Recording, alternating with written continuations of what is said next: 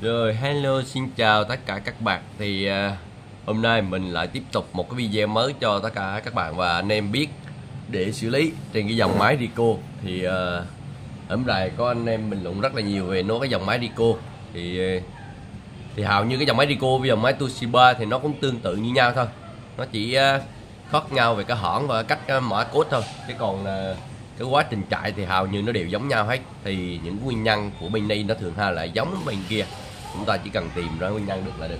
Thì à, hôm bữa anh em có hỏi mình á là cách để xử lý cái lỗi là lệch mực. Thì giống như kiểu là chúng ta chạy cỡ khoảng à, trăm tờ 200 tờ thì, thì tự nhiên cái cái cái mực nó không ra nữa nó bị lệch dần lệch dần nó mờ luôn. Sau khi test máy thì hôm sau chúng ta chạy lại đậm lẹ nhưng mà sau đó cứ khoảng trăm tờ đến 50 tờ là nó bị lệch lại thì những cái nguyên nhân và cái hiện tượng và cách để xử lý nó như thế nào, thì hôm nay mình sẽ hướng dẫn cho anh em cái cách trình tự để kiểm tra và biết được và khắc phục luôn. Rất là vô cùng đơn giản. Thì à, cũng mong này anh em sẽ xử lý được cái lỗi này đơn giản thôi. Thì mang anh em à, cũng ủng hộ kênh, cũng nhớ như một lượt chia sẻ, một like, subscribe ủng hộ mình. Đó, mời anh em theo dõi. Ở đây, trước tiên, anh em sẽ, mình sẽ hướng dẫn trên cái hộp từ trước sau đó mình sẽ hướng dẫn cho anh em cách để test và kiểm tra. Thì hầu như, nếu như trường hợp thứ nhất, anh em kiểm tra mực, nó có vào trong cái dĩa chén này không? Nó có bơm đài trong này không? Nếu trường hợp thứ nhất, anh em thấy mực vẫn còn đài trên cái dĩa chén này, nhưng mà mực thì bơm đài trên cái dĩa chén này luôn nhé. Nhưng mà không ra mực, in bị lợt, vẫn bị lợt nhưng mà mực vẫn đầy đi này thì anh em sẽ kiểm tra cho mình. Cái phần này thì anh em chỉ cần len tay anh em chỉ cần quay tay.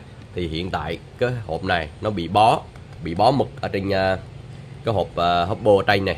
Đó, nó bị bó cái hộp bô tray thì hôm trước mình cũng đã hướng dẫn những cái video cụ thể mở cái hộp bô này như thế nào và vệ sinh như thế nào cho anh em rồi. Thì anh em nên xem và làm theo luôn. Trên đó anh em cứ tìm uh, uh, hộp bô đây hộp tự á thì anh em sẽ tìm ra cái cái, cái video đó anh em xem. Và kéo xuống phía dưới anh em lục sẽ tìm thấy những cái video đó. Đó thì anh em mở ra vệ sinh. Thì hiện tại thì cái của mình nó bị bó ở trên này luôn này. Đó bị bó trên này luôn. Rất là nặng. Đó. Thì hầu như nó bị bó mực lao ngày nó sẽ bay vào trong cái bộ nhông ở phía trong á. Trong hộp bô này có một bộ nhông bên này một bộ và bên này một bộ. Nó có hai cái hộp đó. Thì hai bên nó mực nó bay qua và nó đài luôn trong đó rồi. Thì nó dẫn đến hiện tượng là bó nẹn thì uh, mực nó sẽ không uh, phun ra được đó là một trường hợp là mực đài. Cái trường hợp thứ hai là trường hợp chúng ta chạy, nhưng mực trong đây hết mực trong đây hết. Bên này vẫn lợt và hết, thì chắc chắn với anh em khẳng định một cao rằng con độc mực này hỏng, con độc mực này hỏng nhé, anh em để ý nhé. Mực hết, nhưng con độc mực này không nhận lệnh cho hộp mực bơm vào, thì con này hỏng. Đó. Thứ nhất, anh em sẽ mở ra xịt RB7 vệ sinh sạch sẽ, ngâm cỡ khoảng một ngày đi đó, sau đó anh em lắp vào lại. Nếu trường hợp chạy được bình thường trở lại thì à, vẫn còn tận dụng được. Thì anh em cứ tận dụng. Khi nào hỏng hỏng nữa thì anh em thay thế thôi. Thì con này trên thị trường quá khoảng tầm à, cỡ 300 thì phải. Mình có hỏi là cỡ khoảng 300 á. Nó sẽ lái từ máy in màu hoặc à, bất cứ đâu nó chế lại. Đó, thì à, anh em lưu ý nhé. Hết mực không bơm thì con này hỏng. Nếu như trường hợp mực đài mực đài vào trong đây nhưng mà vẫn lật thì à, bó con này thì con này bị bó nạn thì cái bộ motor ờ, bộ motor phía sau ờ, máy nó không quay nổi. Thì nó dẫn đến hiện tượng là đứng và mực không truyền qua được từ. Thì ờ, mực sẽ không truyền qua là bên này được thì dẫn đến hiện tượng là bị lật và cái cách thứ hai để kiểm tra, đó, cách thứ hai để kiểm tra thì cũng vô cùng đơn giản. Thì đây, anh em là để ý giúp mình. Khi anh em á, cắm cửa, anh em hãy cắm hết cái cửa. Ờ, đó, cắm lái giấy nhét vào hai cái cửa và chúng ta tiến hành uh, chạy. Đó chúng ta tiến hành chạy. Chạy. Nhưng khi mà chúng ta photo chạy đó thì uh, phía dưới đây cái trục đây nè đó anh em nhìn nè. Phía dưới đây là cái trục đây nè đây mình có hướng dẫn anh em nè trục đây nè. Đó đào cái trắng mực nè trục đây. Đó thì anh em vừa photo vừa photo vừa giác cửa vào vừa photo đẩy hộp mực này ra để cho nó khóa lại. Thì chúng ta sẽ dùng ngón tay đưa vào phía trong đây, ép vào. Coi thử nó có chạy không. Nếu trường hợp thằng này không chạy, thằng này không chạy thì như mình nói lúc đầu là cái bộ này nó bị bó. Đó, bộ này bị bó.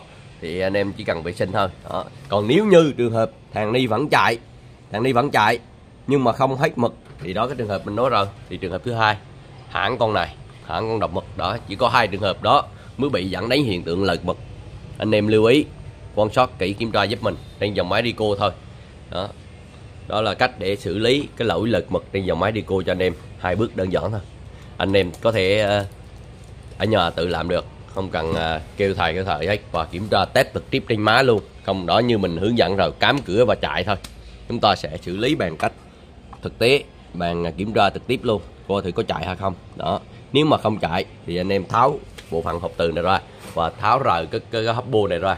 Chúng ta sẽ tiến hành tháo ốc hết và vệ sinh phía trong này. Mình có làm hướng dẫn cho anh em cụ thể chi tiết là hướng dẫn rồi đó hướng dẫn cụ thể chi tiết để vệ sinh cái hấp bô này như thế nào rồi thì anh em tìm lại video và làm theo cho mình. Đó trăm phần trăm anh em đảm bảo hết bệnh. Đó vừa hết bệnh mà vừa không tốn tiền. Đó, vừa nâng cao được tay nghề thì chỉ có mình chỉ có duy nhất một mình mình hướng dẫn cho tất cả các bạn, anh em biết thôi. Đó, anh em à, này nhà anh em sẽ cố gắng à, làm và khắc phục được thì à, cũng mong anh em sẽ hoàn thành tốt công việc. Đó, rồi chúc bà anh em may mắn nhé. Hẹn gặp lại anh em ở những clip